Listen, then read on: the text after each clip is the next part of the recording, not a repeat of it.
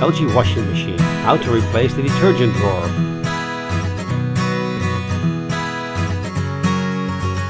To take out the drawer, first push the softener button.